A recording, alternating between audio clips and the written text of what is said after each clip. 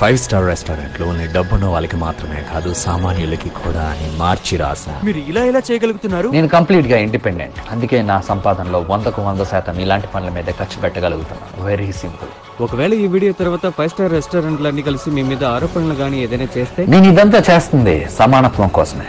ఎవరిని పర్టికులర్గా ఉద్దేశించి కాదు. అయినా నాకు భయం లేదు. ఎందుకంటే నా దగ్గర లాక్కోవడానికి వందల వేల కోట్లు అయితే లేవు. మహా అయితే ఈ సామాన్యమైన జనాల అభిమానం తప్పించి. ఒకవేళ దాన్ని కూడా లాక్కోవాలని చూస్తే? నాదన్నది ఎప్పటికీ నాతోనే ఉంటుంది. ఆఖరి ప్రశ్న ఇదంతా మీరు ఎందుకు చేస్తున్నారు? నాకు అసాధ్యాన్ని సాధ్యం చేయడం అంటే ఇష్టం. సరదా.